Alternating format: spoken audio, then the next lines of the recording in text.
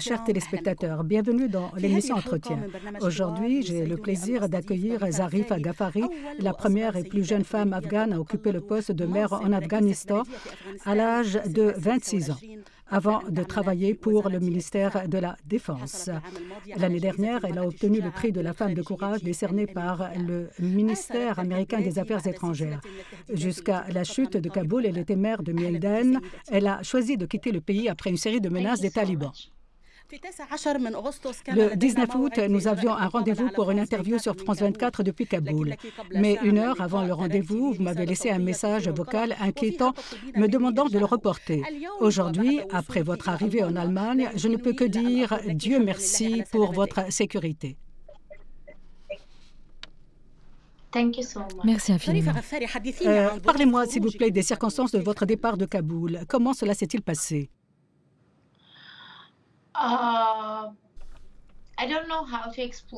Je ne saurais l'expliquer. Les mots me manquent. Comment exprimer une telle situation Comment vous parler des circonstances dans lesquelles j'ai uh, quitté mon pays? Ce départ fut aussi déchirant que de quitter mon père. J'ai laissé derrière moi 20 ans de lutte, de victoire, de réussite, tout ce pourquoi je me suis battue, tous ces rêves que je souhaitais concrétiser. J'ai tout quitté car je ne voulais pas que ma famille le prix fort à cause de la décision que j'avais prise de rester sur le terrain. Servir mon pays, c'est une décision que j'ai prise. J'ai choisi de, de, rester sur le terrain et c'est pour cela que j'ai perdu mon père. Je ne voulais pas que ma famille en paie le prix. Mais ce qui est encore plus important, c'est que les talibans sont à ma recherche. Je suis une cible privilégiée je suis depuis longtemps en tête de leur liste noire. Ils souhaitent m'assassiner et à la place, ils ont assassiné mon père pour me réduire au silence. Et c'est l'un des facteurs qui a motivé ma décision de partir. Autre chose importante, quand j'étais encore en Afghanistan, que j'attendais tout simplement la mort, j'étais résignée à mon sort, eh bien, je me suis secouée. Si je meurs, qui parlera pour les femmes afghanes?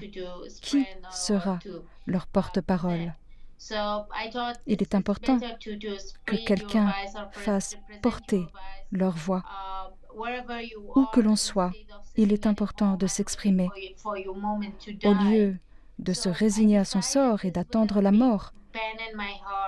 Et c'est le cœur lourd que j'ai pris cette décision. J'avais les yeux pleins de larmes. Quelle douleur. Quelle douleur de quitter son pays, sa famille, son chez-soi.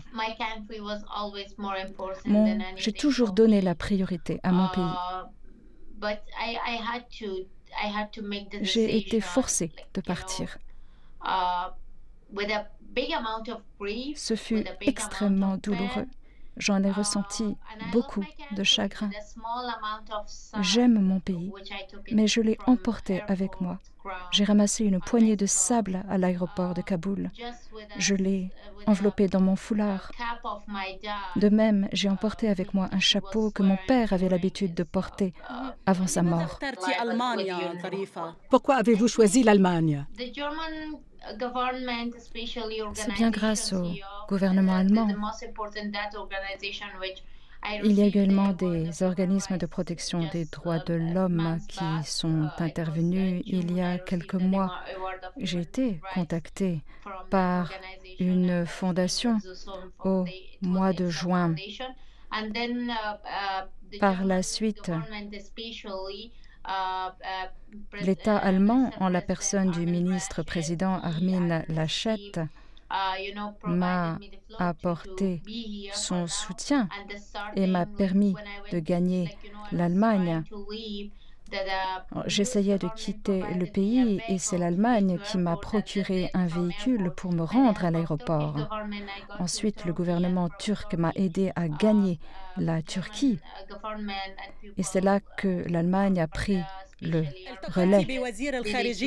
Vous avez rencontré le ministre allemand des Affaires étrangères. Que lui avez-vous dit? Mais je l'ai rencontré et je lui ai dit, pour commencer, qu'il était important de favoriser l'éducation des femmes qui le souhaitent.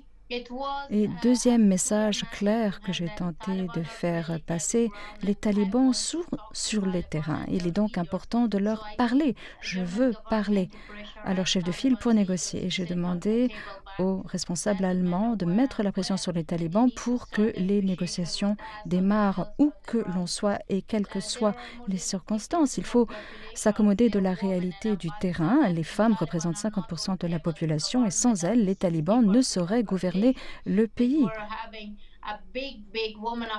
Les femmes constituent un vivier important pour assurer le développement du pays. Il est important de sauvegarder les acquis des 20 dernières années. Je pense donc qu'il est important que la communauté internationale fasse pression sur les talibans pour qu'ils s'assoient à la table de négociation et abordent la question des droits de la femme. Vous avez fait l'objet de plusieurs tentatives d'assassinat et vous savez ce que signifie de ne pas vivre en sécurité. Qu'est-ce qui attend les femmes afghanes qui sont là-bas en dépit des assurances des talibans? À l'heure actuelle, c'est le chaos. L'avenir est incertain. La situation est extrêmement chaotique. Tout est fermé. Mais je suis quelqu'un de positif. Je préfère voir le verre à moitié plein. Et il est important de ne pas se laisser abattre. Il faut bien commencer quelque part, il faut monter au créneau, il faut répondre présent et s'accommoder de la réalité sur le terrain. Et le fait est que les talibans sont présents et qu'on n'a pas le choix, il faut leur parler, il faut négocier, il faut collaborer. Mais ce qui est encore plus important, il faut que la communauté internationale fasse pression pour que le Pakistan cesse de s'immiscer dans les affaires afghanes. Sans ces interférences, nous aurons l'espace nécessaire pour reconstruire notre pays. Nous aurons la possibilité enfin de reprendre en main notre pays. C'est une étape nécessaire. Et c'est la raison pour laquelle je suis prête à discuter avec les talibans. Je suis prête à négocier, malgré tout cette douleur et tout ce qu'ils m'ont fait subir. Donc il y a aujourd'hui des négociations et des blocages également. Est-ce que la situation en Afghanistan euh, peut aboutir à une guerre euh, civile, par exemple? À mon sens, dans mon pays, personne ne veut la guerre. Les citoyens afghans sont épris de paix. De plus, les protagonistes de la guerre civile ont disparu. Il n'y a plus personne, que ce soit les Mujahideen ou les anciens. Ils sont partis et ceux qui restent doivent retrousser leurs manches pour reconstruire le pays. Et pour cela, faisons face à la réalité sur le terrain. Il est important de travailler de concert avec les talibans pour améliorer la situation. L'organisation de l'État islamique est également présente sur le terrain. Comment envisagez-vous l'avenir du pays en présence du groupe État islamique et des talibans?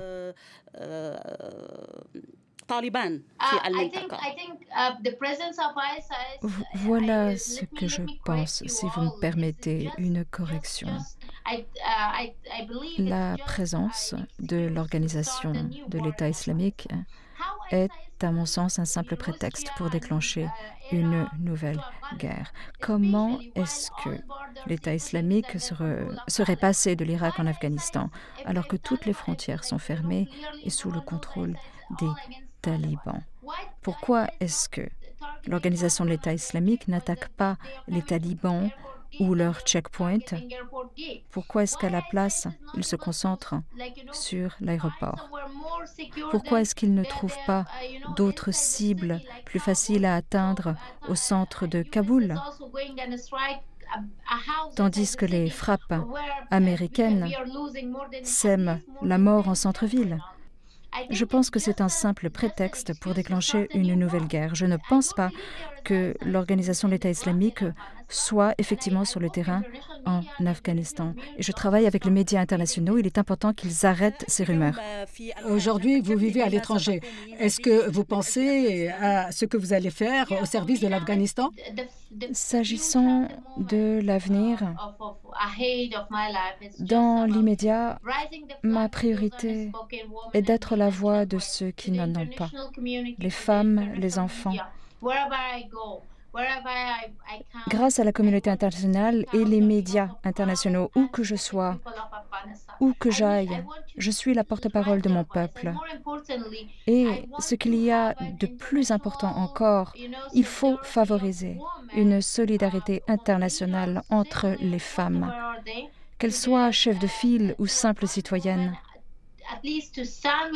Soyons solidaires des femmes afghanes. et appelons les chefs talibans à s'asseoir à la table des négociations pour parler des droits de la femme. Les talibans partent du principe que nous revendiquons des droits à l'occidental, mais non, ces droits sont conformes à la religion musulmane et aux valeurs et aux traditions afghane. C'est ce que nous voulons. Les talibans brandissent en permanence la charia, mais les droits que nous revendiquons sont conformes aux droits islamiques de la charia. Il y a des incompréhensions que l'on peut dissiper grâce au dialogue. Mais ce qui est encore plus important, c'est de faire pression pour que le Pakistan cesse de s'immiscer dans les affaires afghanes, ce qui facilitera la communication avec les talibans. Très brièvement, euh, avez-vous un message spécifique que vous souhaitez lancer via France 24 Mon unique message est le suivant. Je vous en prie, mettons la pression pour inciter les talibans à négocier. Je ne sais pas si les autres interlocuteurs sont prêts à le faire, mais moi, je suis prête à parler. Zarifa Ghaffari, merci. Merci, chers téléspectateurs, pour votre aimable attention.